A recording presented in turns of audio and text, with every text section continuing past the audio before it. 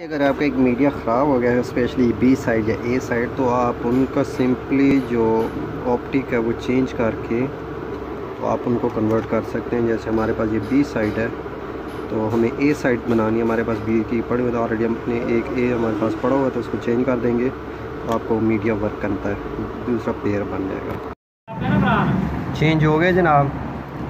और ये मीडिया इसके साथ आपको जो है टी पी लिंक का टोटली टी पी लिंक का ए और बी साइड तैयार हो गई।